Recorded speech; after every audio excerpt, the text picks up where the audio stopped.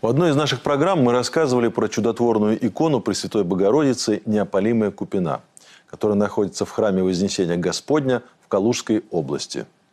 И вот недавно к нам в редакцию пришло письмо от нашего зрителя Дмитрия Киреева, в котором он сообщает о невероятном исцелении по молитвам перед этим образом и даже готов приехать в Калугу из родного Челябинска, чтобы поблагодарить Пречистую за дарованное чудо.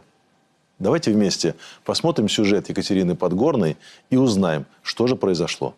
Слегка щурясь, Дмитрий Киреев смотрит на старинный, когда-то заброшенный храм в селе Вознесение Калужской области, вспоминая события, которые случились год назад.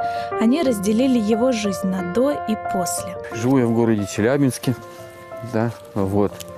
Ну, то есть я жил обычной человеческой жизнью. Я занимался спортом, работал, воспитывал детей, растил. То есть у меня детей трое. Жизнь шла своим чередом. Работа, дом, путешествия. Дмитрий почти никогда не жаловался на здоровье, но однажды случился странный приступ.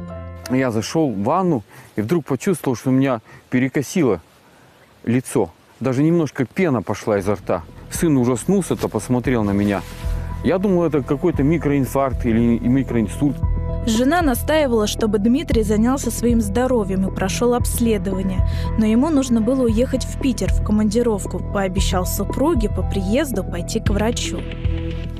Я еще потом пошел на работу, и когда ехал с работы, был за рулем, и вот на перекрестке подъезжая, у меня случился второй какой-то приступ, мне еще больше э, перекосило это все лицо. Я прям начал себя по лицу бить руками, чтобы не потерять сознание.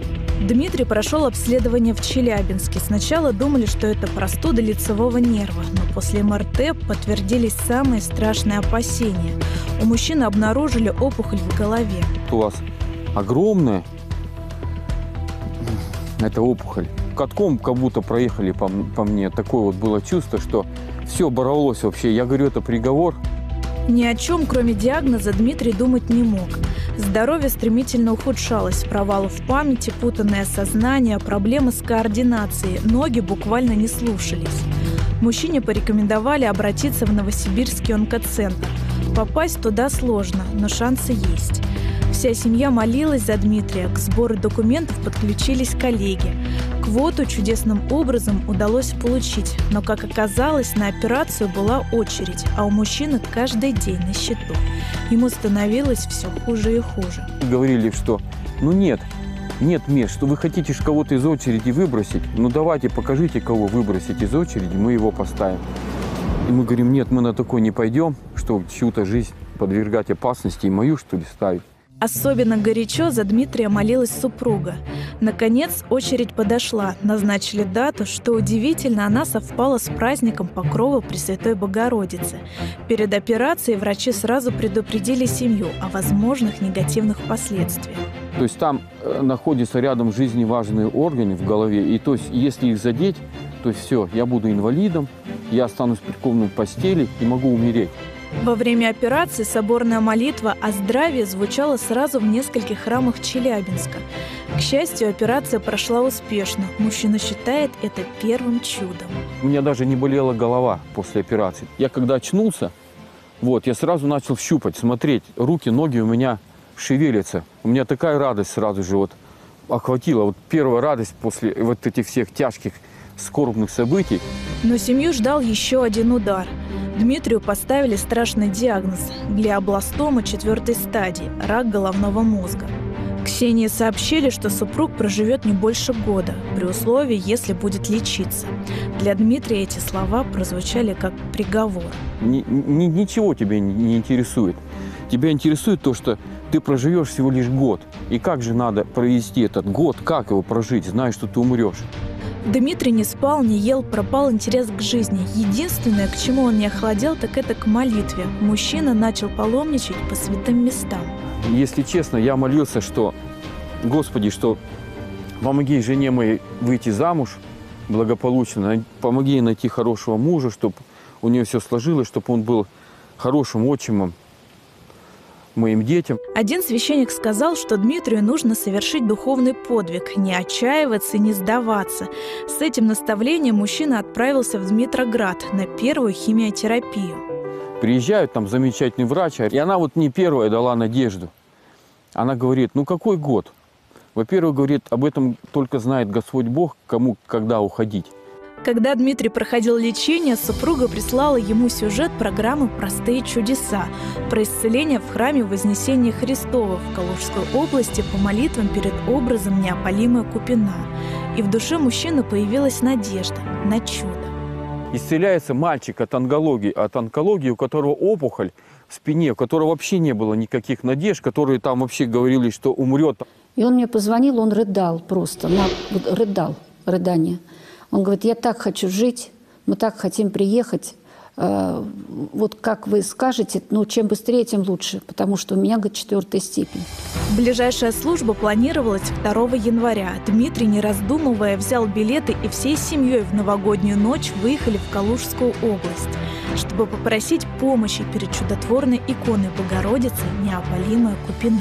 Мы приехали сюда помолиться перед иконой Пресвятой Богородицы, неопалимая Купина. Перекладывались, вот есть здесь старинный крест, тоже которому 200 лет, чудотворный, хранительница иконы Галина Владиславовна.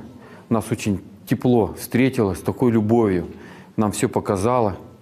Провела нас на второй этаж. Сначала был у нас общий молебен, потом они взяли икону и в алтаре на коленях стоя прочитали весь Акафист. Верхний предел храма посвящен Вознесению Господню. Именно здесь Дмитрий испытал особенные чувства, а главное, у него появилась вера в исцеление. Здесь вот горнее место, здесь был алтарь. И вот мы вставали вот так вот с женой. Вот здесь по-другому немножко было.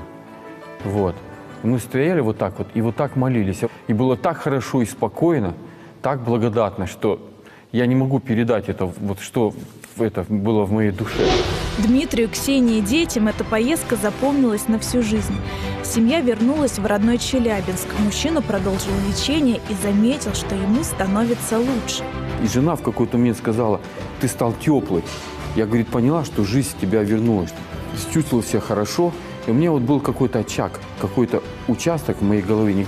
Врачи делали МРТ и не могли понять, что это такое.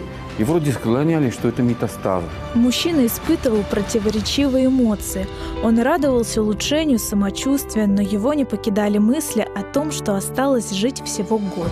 Все это время Дмитрий и Галина, хранительницы иконы, были на связи. Я говорю, Дима, ты же икона с тобой, матушка. Она же молится за тебя, все будет хорошо. Дмитрий решил пройти более детальное обследование, где изучают каждый сосуд головного мозга. И услышать такой результат он точно не ожидал. Врачи сообщили, что опухоли больше нет. Мужчина полностью здоров. Да, вот он мне сказал, мне такая радость, просто ух, вот так вот, вся такая охватила. Я вышел из кабинета, вот так, пошел вот так, мне слезы радости брызнули из глаз. Я пошел тут в храм, деревянная всецарица, Пресвятой Богородицы в Челябинске на территории областной больницы, упал нам колени, у меня просто такая радость. Он мне звонит и кричит со слезами уже. Галина, вы представляете, у меня нет болезни, у меня нет болячки. У меня нет, представляете, у меня все чисто вообще. И не метастаз, ничего.